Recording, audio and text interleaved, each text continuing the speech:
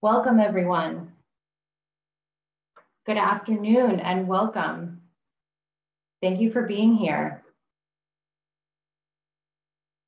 I'm just going to take a moment to let folks trickle in and then we will get started. Welcome, good afternoon, and thank you so much for being here.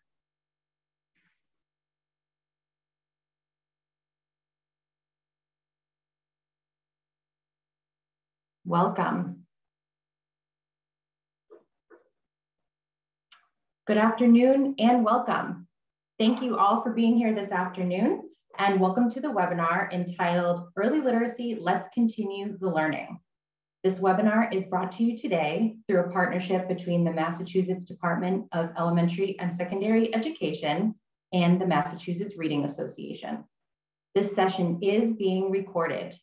Zoom can provide a live transcription.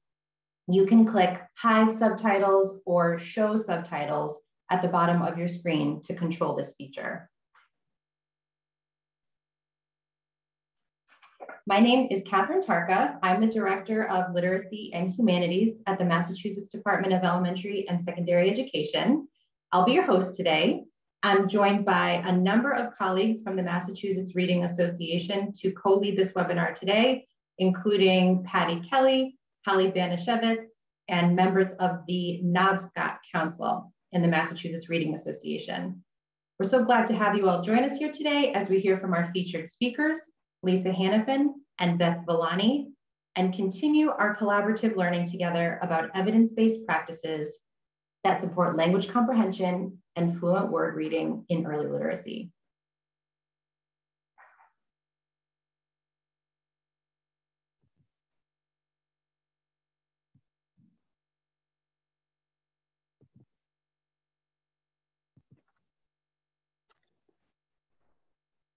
Hello, it's so great to see everyone in the webinar today.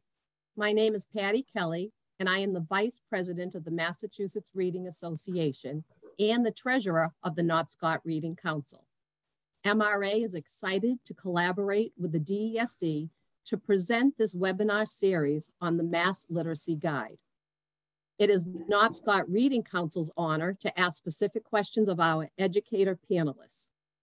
As you can see on the agenda slide, Catherine will give a mini dive into the Mass Literacy Guide, and most of our time will be spent in a panel discussion with Nobscot Reading Council members Abby Hendler, Nancy Vertolino, Terry Marr, and Sherry Alleman asking questions of the panelists.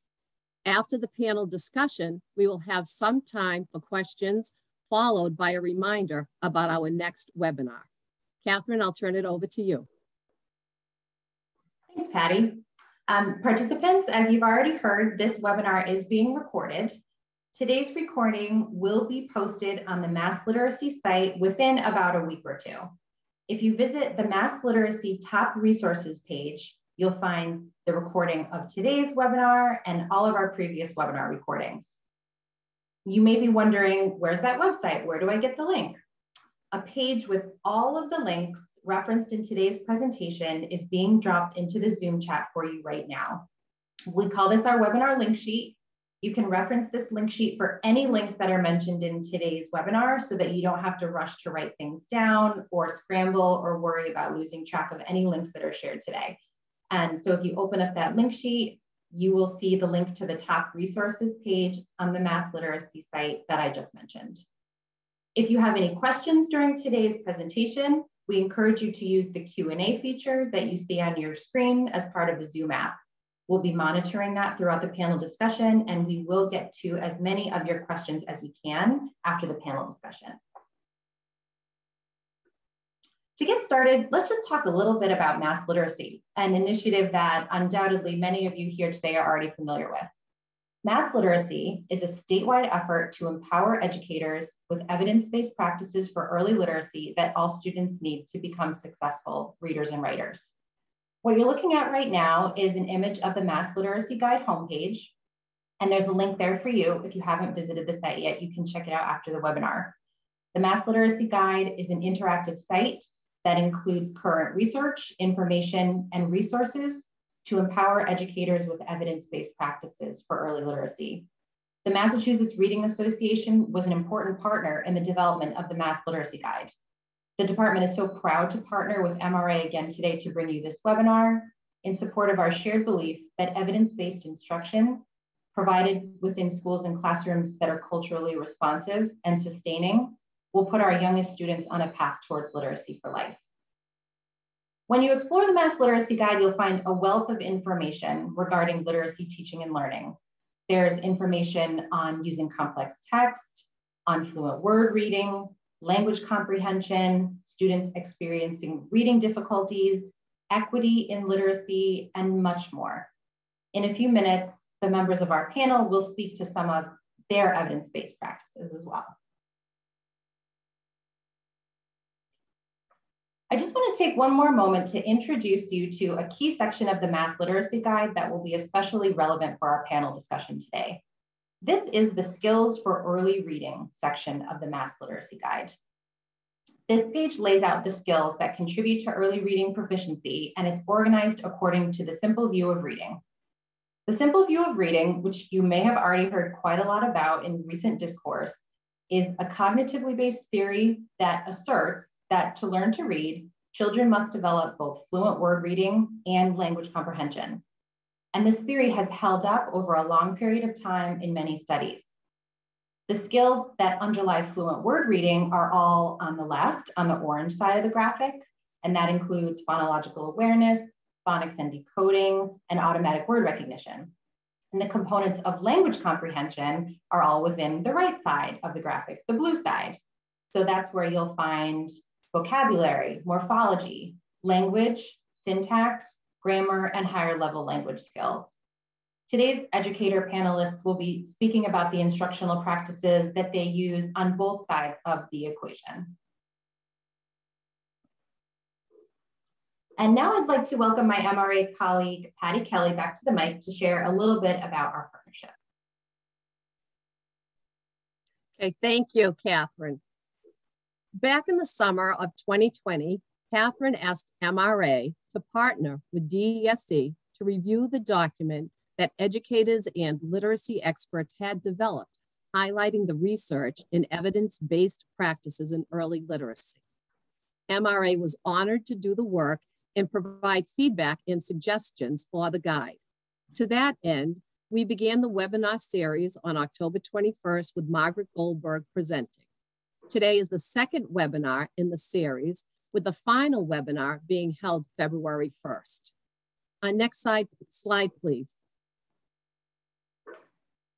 MRA's mission is to promote, to promote literacy for all learners through professional development, research, publications, and advocacy.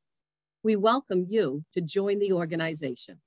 It's a great opportunity for you to be involved in literacy projects and activities that are organized by MRA in local councils, such as the Nobscot Reading Council.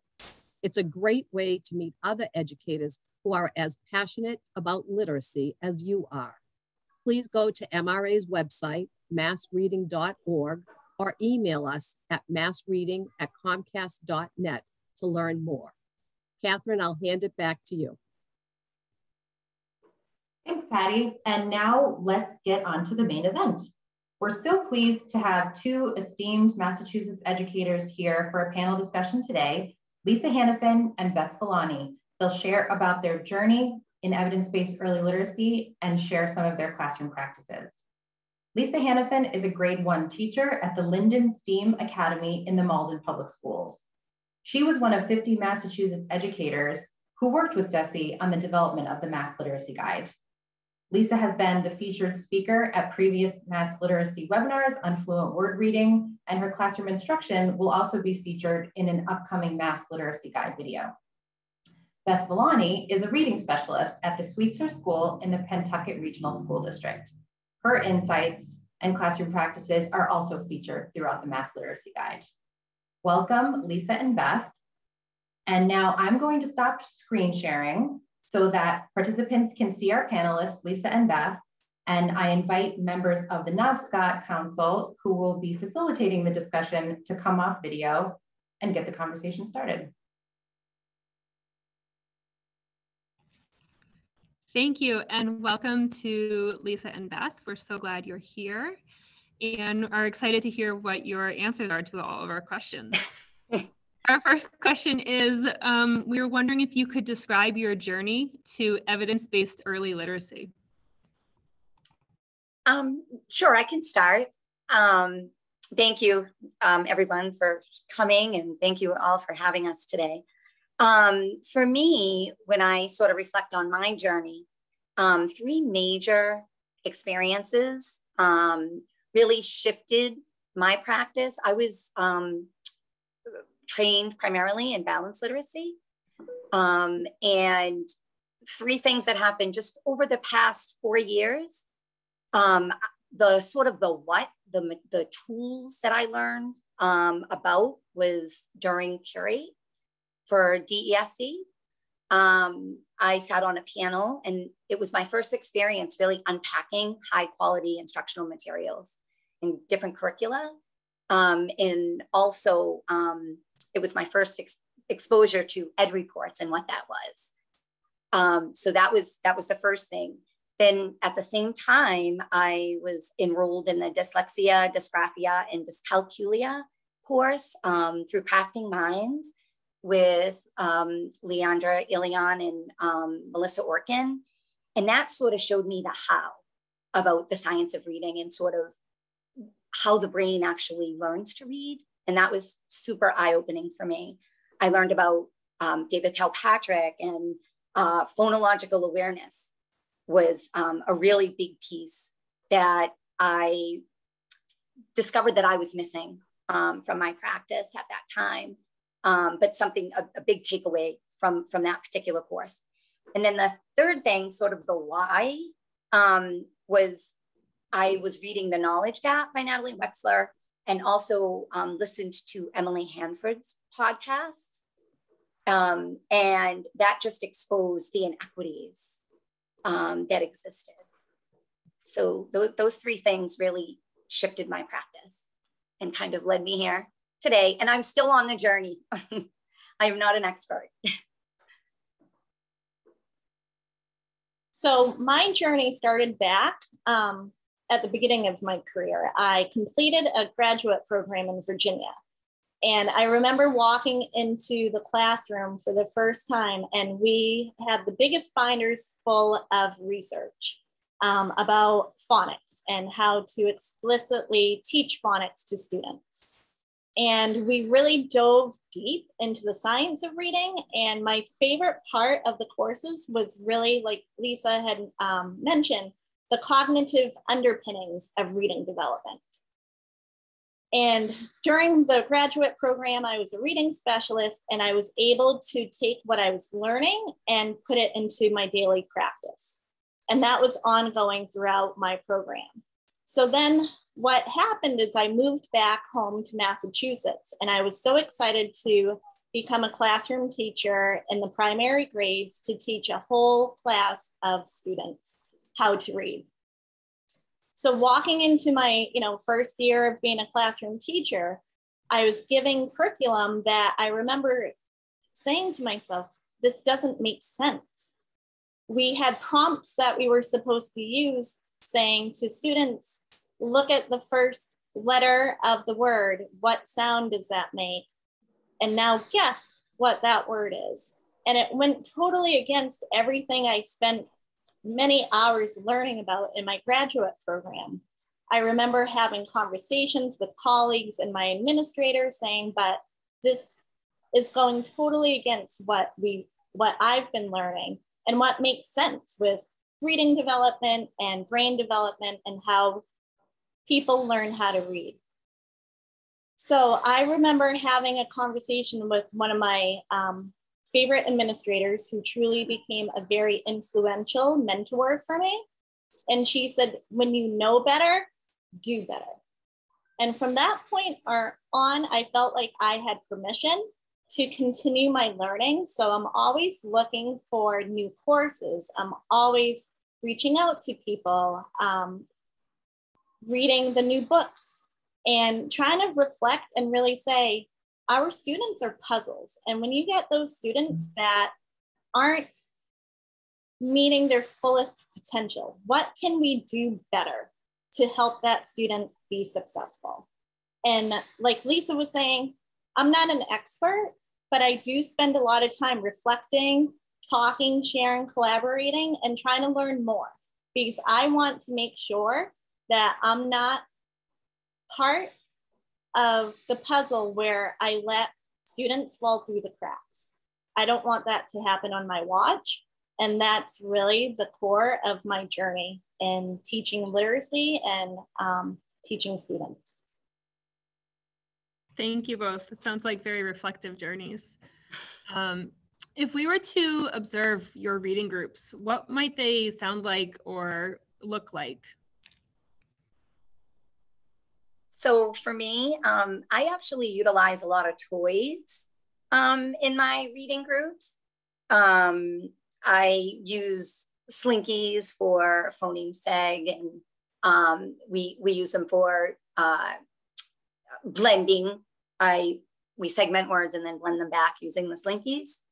Um, um, I use a lot of I I put together a. I want to show you. This is actually the link is actually in in um, the sheet, but I use um, word mats a lot. Um, this particular one came from the University of Florida, um, and I created it, created many so that it's all Velcro so that you can actually, depending on the group I'm with, um, I can easily uh, just take it off, you know, take off different sheets. Um, some kids, um, you know, need the alphabet chart to actually um, do some of the phonics work that we're doing, whereas other kids, um, we might be working on like syllable work. They don't need the letter chart. So I I flip things around. I, I have it all. Um, it's all Velcro. Um, and so I use I do use this a lot during my ex, sort of explicit instruction. Um, and we um, also uh, for me the the one of like where I get the most bang for my buck is sort of the application of the actual whatever skills that we're, we're working on that I'm introducing. Um, I want to make sure in front of me, because that's a piece that I was always lacking, I felt like, um, is that I'm very much intentional about applying the skill and not just, um, you know, reading, not just them um, practicing, say, like writing out the words, but really applying it with, you know, doing either, either words or actual um, an actual decodable passage um, because I feel like, like I said, that was just a piece that um, I I wasn't. I don't feel like I was doing that them the justice of of them actually having the time to practice. Um, so, um, uh, yeah, that's pretty much um, and we also do a lot with phonemic awareness. I, I do do phonemic awareness in my small group as well as in my whole group.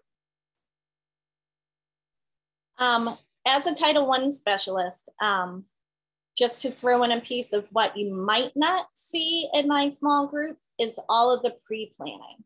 So I spend a lot of time working with assessments, completing uh, screeners and uh, phonological awareness screeners, on all of the students that I service. Um, the data is analyzed. I really take a lot of time to triangulate the data because it's so important to figure out the point of breakdown with our students. And that's how I start my planning for the small groups.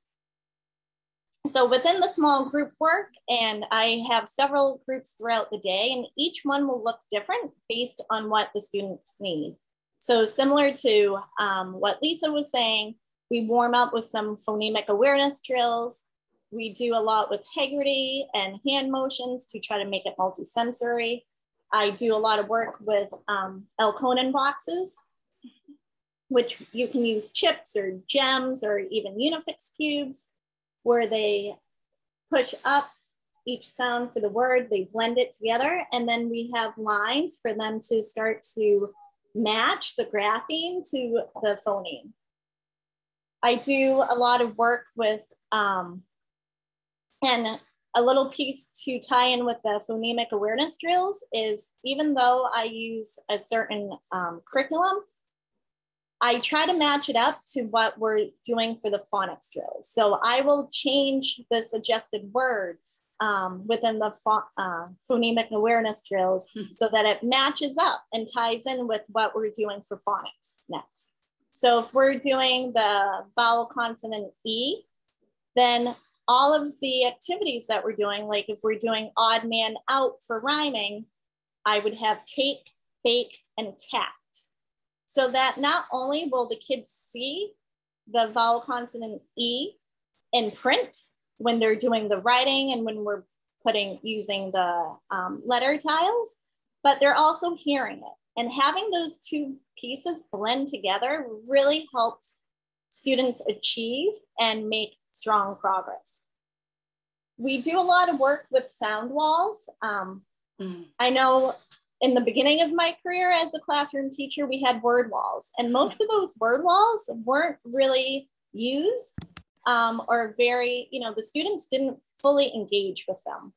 So with the word walls, and I found um, these great pictures where, especially now during the pandemic, we're all masked. So it's so hard. I still like cue myself from habit for them to look at how my lips are formed. We feel where the sounds are coming from. So these have really come in handy um, for the past couple of years so that they actually have a picture of a child and how their mouth should look when they make a certain letter. We review the sound wall with the sounds that we have done before, before we introduce the new sound. There's a lot of um, explicit instruction. It goes pretty quickly once the routines are set in place that I really firmly believe in the gradual release of responsibility where we do I do, we do, and you do. There's mm-hmm. decoding and encoding routines. Um, I do a lot with word sorts, the word work mats that look a little bit differently. And then with the high frequency words, one of the changes in practice that I started recently is using the heart word method mm-hmm. through really great reading. And this has really helped the students to make the connection to see that, all right, I know some of the sounds in these words, and there's only certain parts that I have to memorize by heart instead of doing it the old school way of flashcards. Um, the students will wrap it up by working with connected text. And depending on their skill area and where we are. Um, it starts at the word level. It might be a word list, the phrase level, passages, or full decodable text. And that's supported and um, the students independently read that as well with teacher input. And we um, usually, hopefully have enough time for the dictation part where they might do some sentence writing and independent writing on the skills that we have worked on. That's so many great ideas. Terry?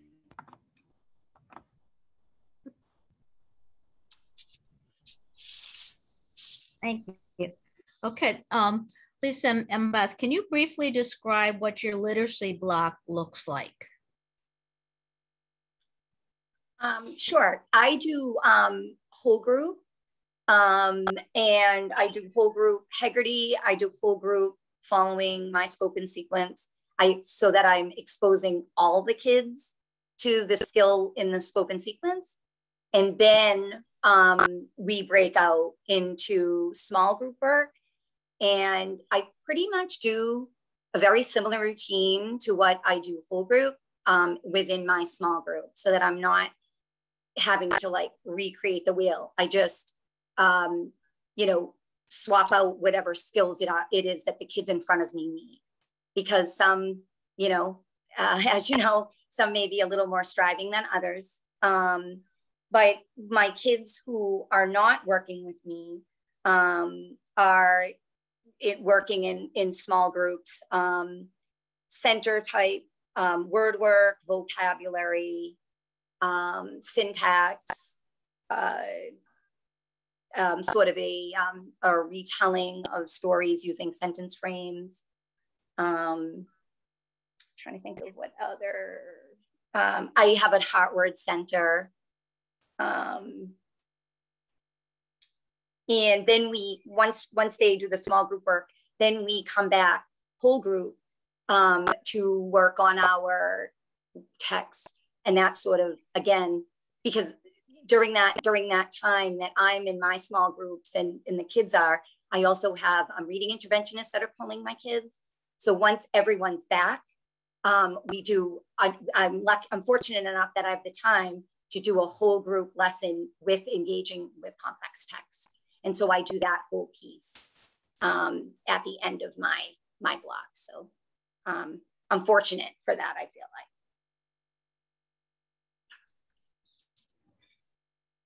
And I should I could also add that my group, my groupings, when my kids, I pull my groups um, that are are sort of leveled to see me, but my center type work and the work they're doing, um, I try to make my centers so that they're more heterogeneous and everyone can sort of contribute and feel successful in the group.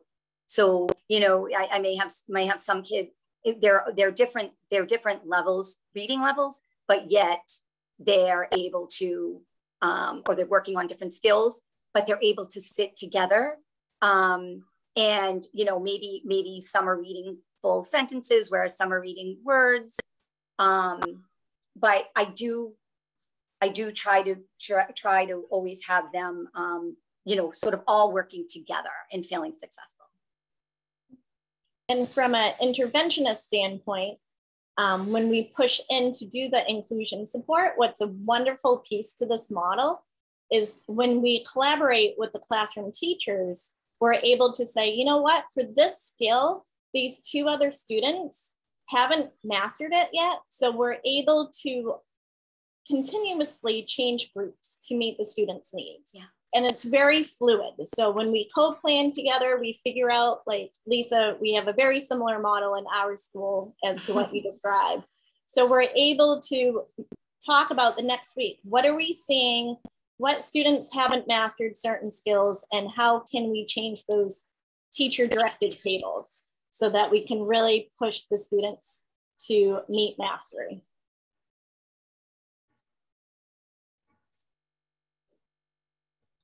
Okay, thank you. Um, I think we're we've been asked to kind of skip some questions because of time. So um, I uh, was just asked if uh, we could skip Nancy and go to you. Um, question five, Nancy, can you do that, please?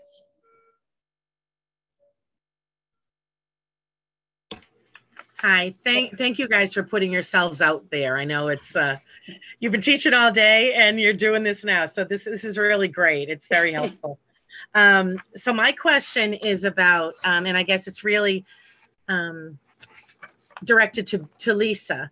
Um, can you talk a little bit about how you use read alouds um, to support critical consciousness and um, and how do you think about or how do you use literature to leverage student assets? Yeah, so I do a lot about building community, culture. I am in a, um, I believe, if not the diverse, one of the diverse, most diverse um, linguistically and I, I, believe culturally um, districts in the state. Um, so the center of our room is from the first day, um, we have a big world map and the kids' pictures are all around it. And I um, put up their language they speak their languages, and um, we um, sort of map it with using just string, you know, to each country, their home countries. Um, and that sort of starts us off, just sort of building that classroom community, but also just the importance. I want them to know that knowing other languages and, and multiple languages is an asset. Um, and so that's how I kind of start off. Um, I, um, above that is we talk a lot about this quote, and it's um, we are unified, we are diverse. I do I do some work with um, Ubuntu, um, and um, we just actually finished doing that. And um, we talk about where Ubuntu comes from, what it means. Um, again, meaning that we might look different, but yet we are still connected. Um, we talk a lot about diversity and that diversity doesn't just mean the color of our skin or what we look like on the outside. Um, I try really hard not to make assumptions about my kids um, mm. based on their color of their skin or um, we talk about you know we read books on family different family makeups i've had kids who use um, pronouns of they them their um, so we've had really deep discussions about that. Um, also you know families that may have two moms two dads kids that live with grandparents. Um, so we look when we when when I talk about books, um, we talk about a critical lens, and I'll say to them, put on that critical lens, and they do put up their little their little um, glasses, and we talk about what do you think this book this book is, What do you notice about this book? What is this a window? Is this a mirror? Um, you know, is it going to open up um, the world for you? Um, or is it you're just seeing yourself or are you not seeing yourself and why?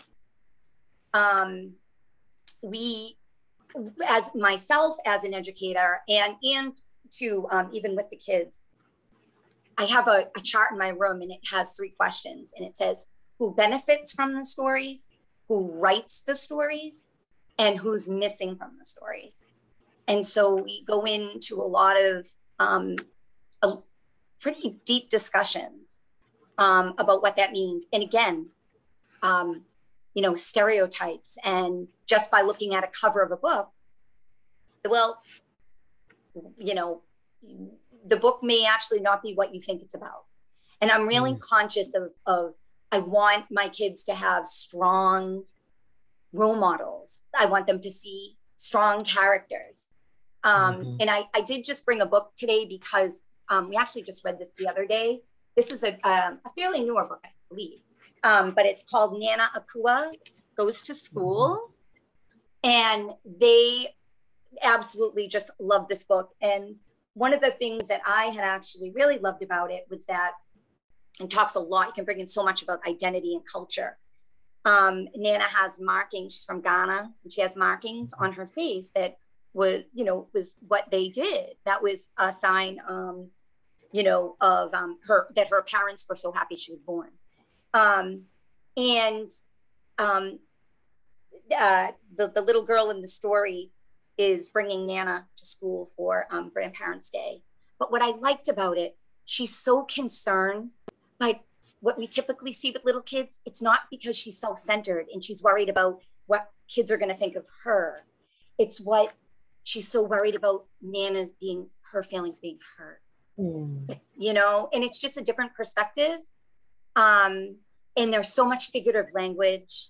It's just, I just love it. And I love the author. Um, she's writing from experience, Tricia Elam Walker. Um, and there's just so much you can do with it. But anyway, um, so this is this is a, a book um, that we I just recently used. Thank you so much for sharing that. Oh, you're welcome. It's a great book. I know it, it gets to your heart. I, I oh. yeah. The, the, kids are like, can we do those tattoos? You know, they want to do the symbols like on like how they do the story. You know, and I even think of it how good that is for first graders, but also to re to relook at it you know in in later years when you're studying immigration or indigenous peoples right. or you know yeah. that you really need that background um I mean, this is a huge question for both of you, but can you talk a little bit about how and why you use complex text? So you've said a little bit, oh, you know, yeah. already. Oh, yeah. Um, yeah. So um, I use complex text. Like I said, that particular book um, was is great because it has figurative language in it.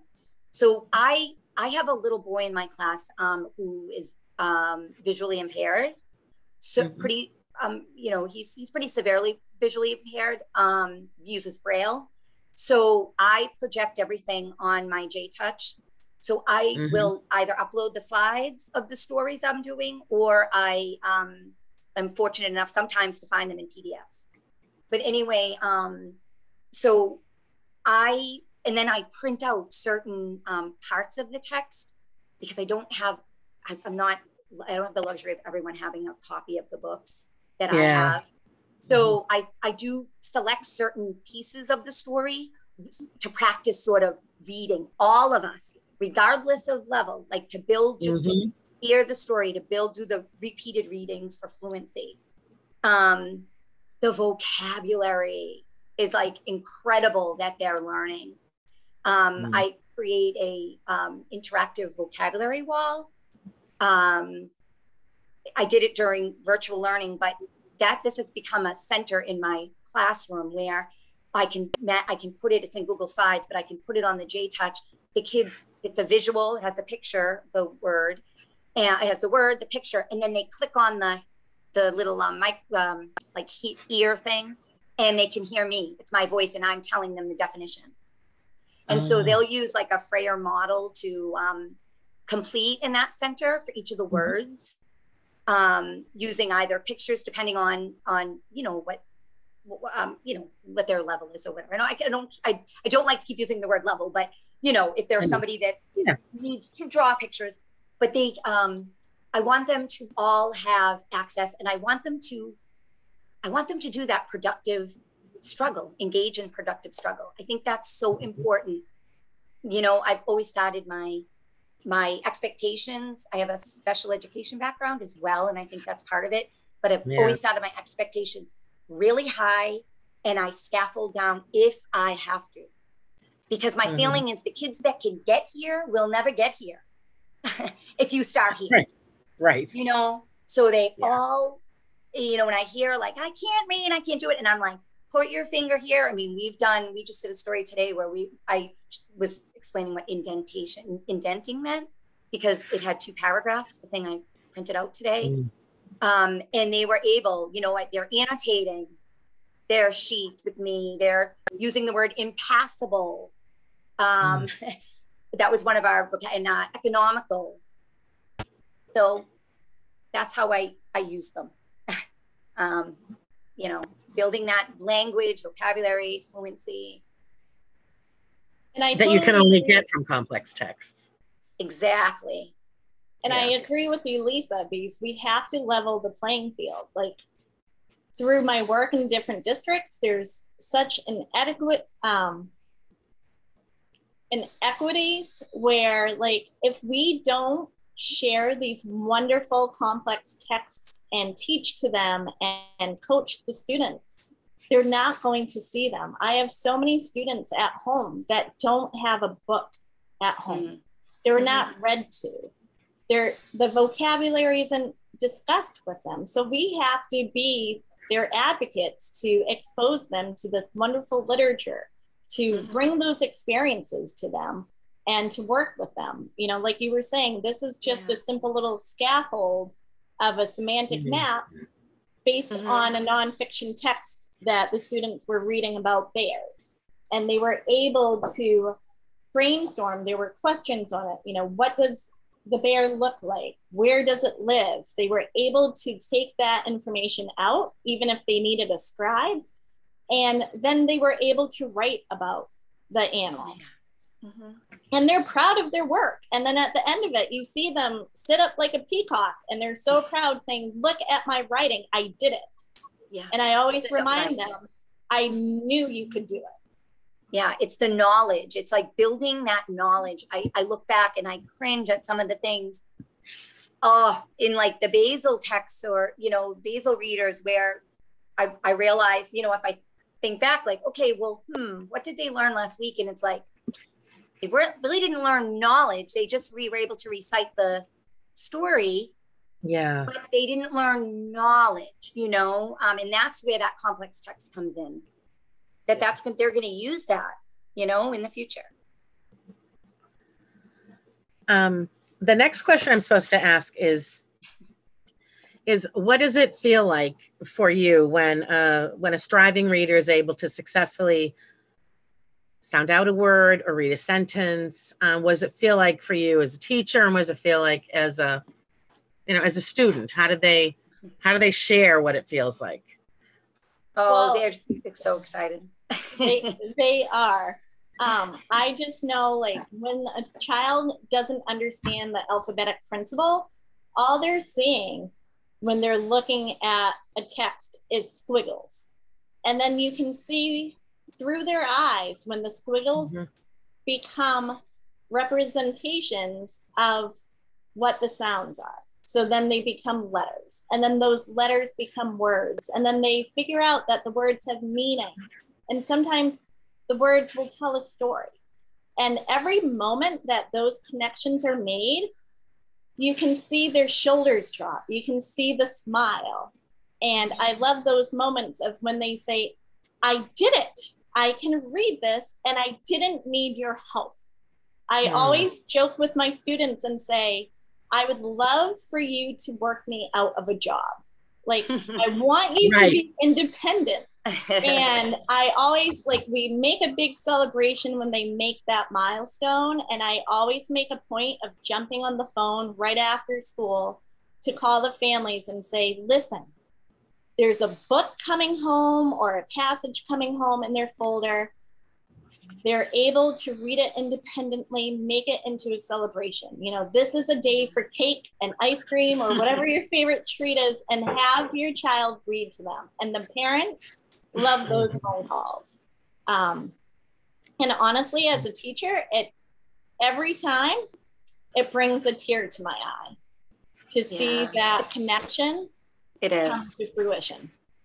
I, I sometimes feel like such a nerd because I'm in my classroom, my own little class, my own little world, and I'm like, oh my gosh, you're right. You know, um, I, like for me, um, this is my first year being able to implement a sound wall that without being Mm. virtual, where I have all the kids in front of me, and it's like, you know, I think it was actually during my observation, I was doing a, um, I was doing some phonemic awareness, and one of the kids said, you know, I said, saw i used the word saw and i said do you know what it, ano- another you know word another meaning for saw is you know do you know what that is? And she was like like ah.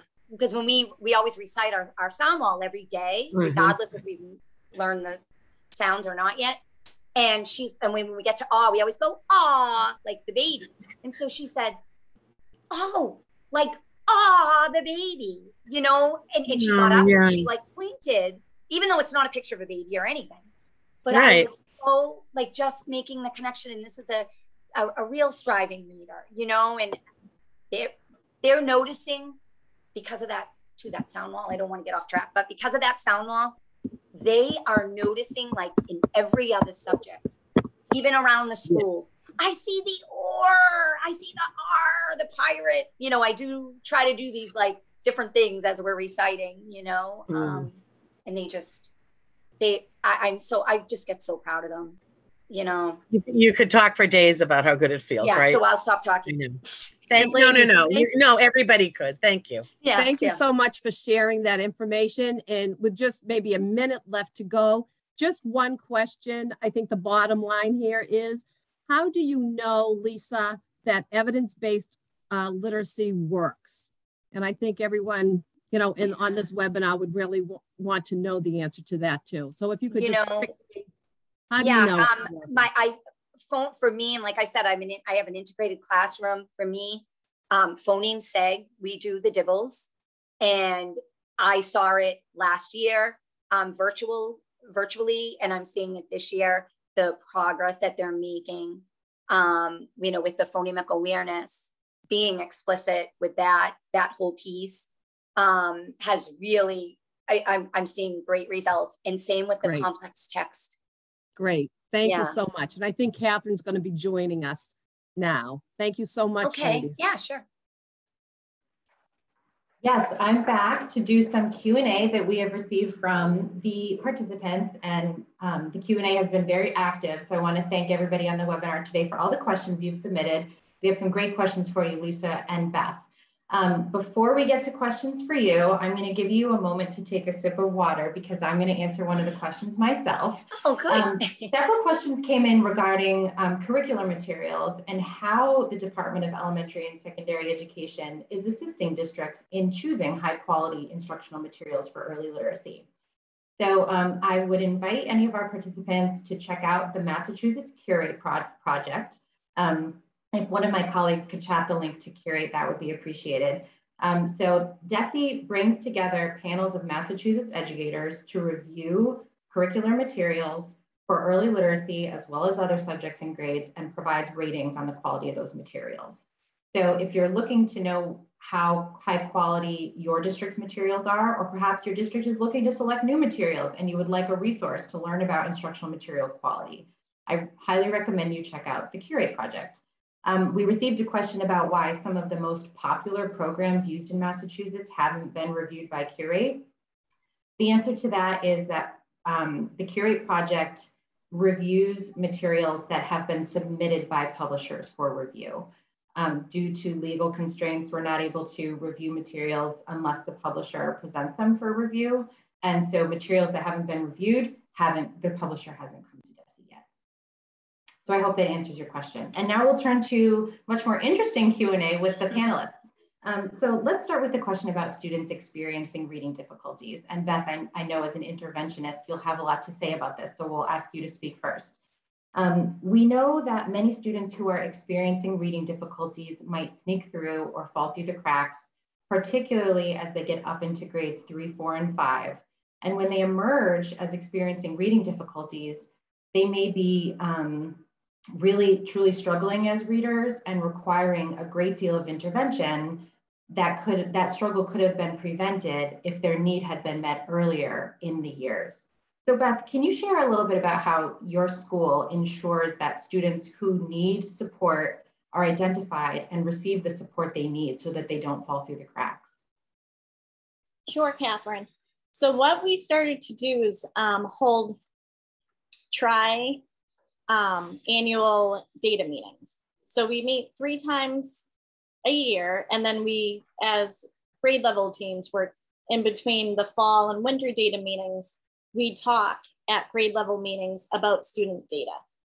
We have strengthened our assessment tools. So we have a great dyslexia screener where we're able to highlight and identify students that may be at risk.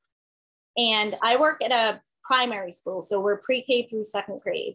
And I'm a huge advocate for early intervention. Let's hit them hard early, give them the most intervention early on so that when they do get to our sister school, which is grades three through six, they hopefully will not need that. We're progress monitoring all the time. And I'm in constant conversations with my colleagues, with our administration saying, you know what, we've been doing this and it's not getting the gains that we want. What can we do differently? So we either boost up our intervention time and we try that for a few weeks. We look at the progress monitoring. Is it working? Is it not working? And then if it's not working, we go back to the table and say, what else can we do? So it's always a conversation. And I'll say I've worked in many different districts. And what I've seen work so well is for the student support teams um, that I know all schools have. The best ones are when you have an occupational therapist there, a mm. physical um, therapist there, the school psychologist.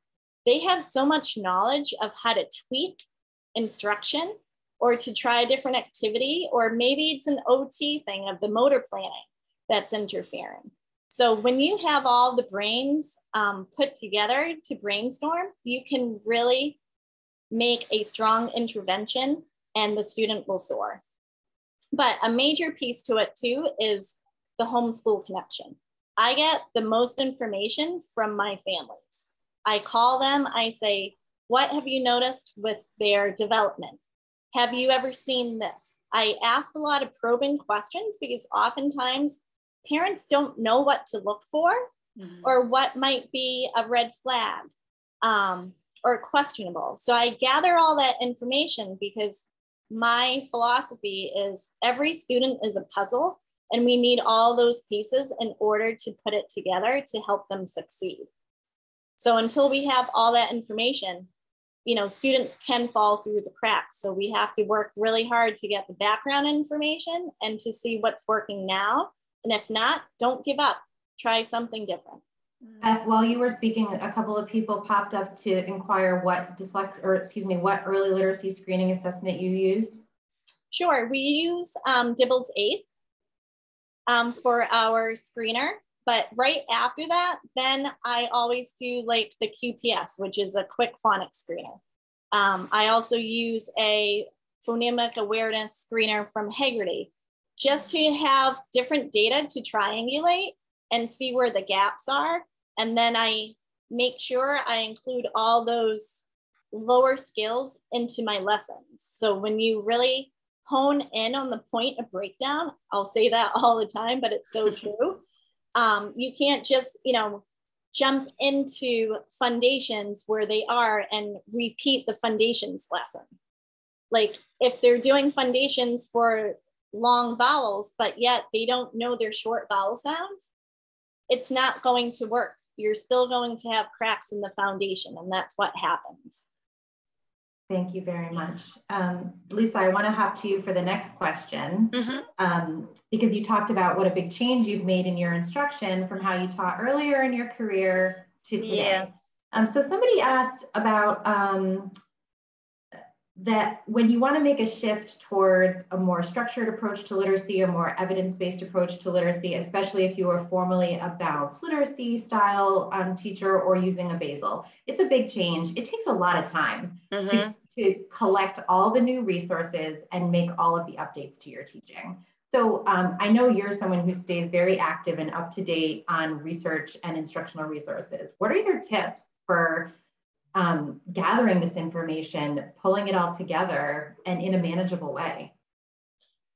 Um, well, I mean, I it can be very overwhelming. I mean, it really can. There's so much information out there. Um, I mean, I I probably would say, um, see, this is probably it's probably going to sound crazy, but one of one of the um, the sites that I'm on is on Facebook, but it's actually the Science of Reading community.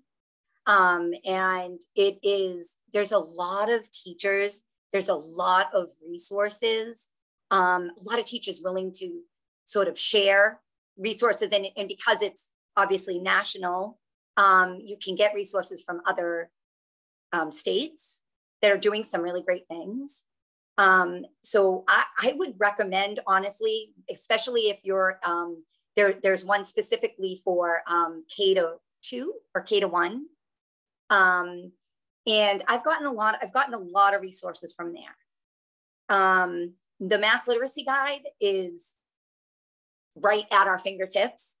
it, it definitely has a lot of information, um, but also it, they could. I would always recommend like check out even some of the webinars that um, DESE has hosted.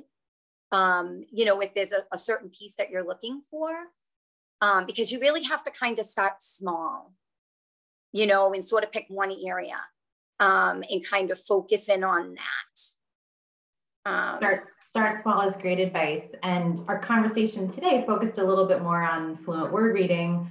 But as you mentioned, there's tons of resources related to other aspects of literacy, language comprehension, complex text, yeah. pick somewhere and start there is great advice. And, and anyone can reach out to me too. That's fine. and what I would suggest too is look at your data. You know, what areas are your students continuing to struggle at? And go to the Mass Literacy Guide and find that area and look at the recommended readings. You know, Start mm. there. Where is the biggest need? When our district was making some changes, I had shared that one of our biggest needs was phonemic awareness. We didn't have any curriculum. It wasn't done in the lessons with the curriculum that we had. So that's where we started. And we got a lot of bang for our buck and we saw great student success. And now we're moving on to another piece. So start small, identify yeah. your area of need, for your students overall. And, um, you know, the Mass Literacy Guide is amazing where it has like the best resources. And I would start your learning journey there.